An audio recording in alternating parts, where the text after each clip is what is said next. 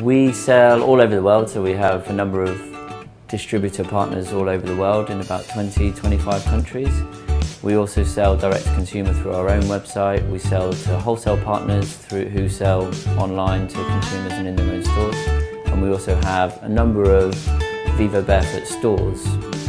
We make shoes in China, we make shoes in Ethiopia, and we make shoes in Portugal. We were using a real mix mash of different IT. So we had Windows Server 2003, we had Windows Server 2007, we had um, a lot of Macs as well as Windows. Trying to download emails from a local server in the UK to China was effectively impossible. There was constantly the worry that there could be a flood, there could be a fire, there could be just an old server dying, we would then have to go to our backup tapes and try and reload everything and there's no real guarantee that that would happen. We have a stock management system that was on 2003.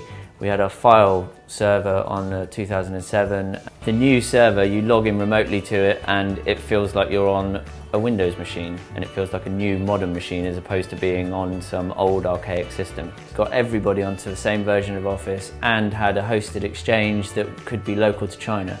So my favourite features about Office 365 is Outlook, really. The new Outlook is just brilliant and it runs my life. A lot of the Mac users have actually, since we've kind of rolled out this Office 365, switched to Outlook because, again, it's for the same reasons I use Outlook, it has everything in one place.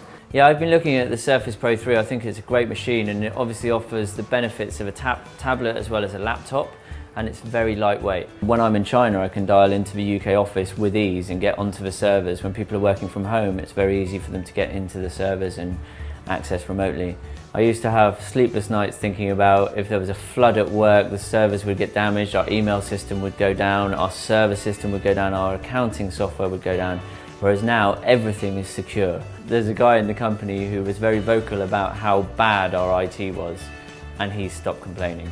That makes me happy. We're looking at tremendous growth over the next few years and converting more people to the Vivobarefoot way and having solutions like Office 365 and Windows Server 2012 in place are great foundations for that growth.